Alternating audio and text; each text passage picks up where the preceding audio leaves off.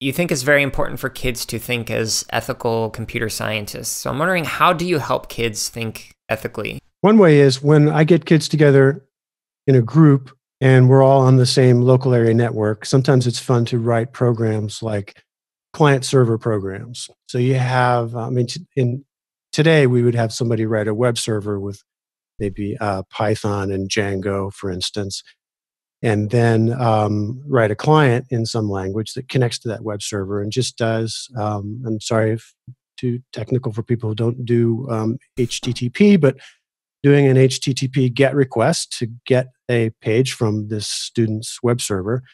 So then we, the kids are playful and they like to, to, to joke. And so some kid says, well, I'm going to make try to make as many requests against that web server in a period of time as I possibly can. I'm just going to have a loop that goes forever and essentially doing a, a, a, DOS attack, DOS, denial of service, against their friend across the table.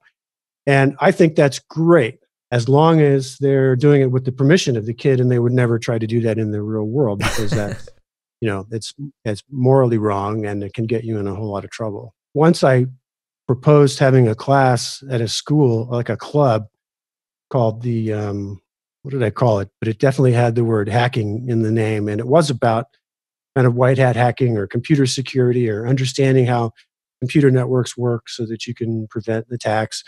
And uh, parents who don't understand the subtleties of the of the issues and the terms were freaked out. No, we were not going to have that at our school. So right other things like like uh, obeying copyright and being sensitive to that. Many of us are think of ourselves as artists or musicians or creators. We're creating something. We should feel free to specify how it's to be used. If i make a piece of art i should be able to say how how it can be used.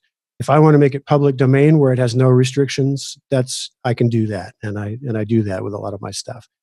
There are other ways to license like the creative commons licensing so when my students want to make a game, often they'll just go and search for some images on the web, and I stop them and say, "No, you, as it's so convenient to do that, but you can't do that. You've got to think about what that image is and who made it, and did they decide that they want you to use it for that purpose." So I send them to um, this may be the wrong link, but search.creativecommons.org I think is one way where you can search for sound files and and graphics that you can have in your game like try to get them to think about what if you were the artist you were making it? Don't you think you should be able to say how it's used? And then giving credit for others work that you build on. I'm a leader in a group called hack the future and here's this term hack again with the eight different senses or whatever if you go look it up.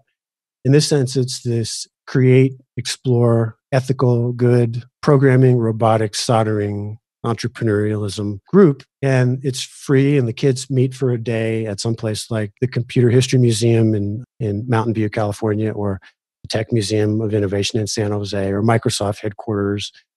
And uh, we have mentors and we usually get about 50 or 70 kids and they're around tables they're doing these various things. At the end we have a demo kids show the programs they wrote and the things that they made, their little robots or their Raspberry Pi stuff. And one kid got up and he showed a program with little kangaroos jumping around or something. And I recognized that program as being one of Al Sweigart's programs. And he's a Python educator and he's written some books.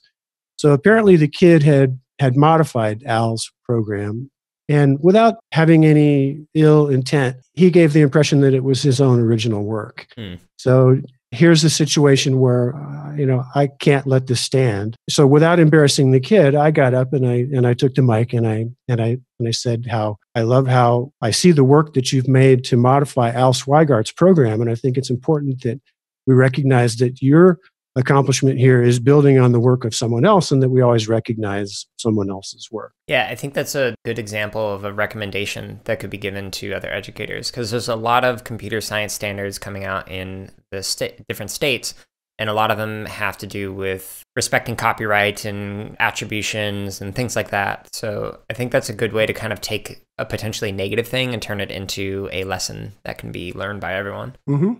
This excerpt was from podcast 17 of the CSK8 podcast, which is titled A Conversation with Professional Programmer and Educator Dave Briccetti. You can listen to the full episode as well as hundreds of more podcast episodes at jaredoleary.com or by simply searching for the CSK8 podcast on your favorite podcast app. So you can learn even more about computer science education.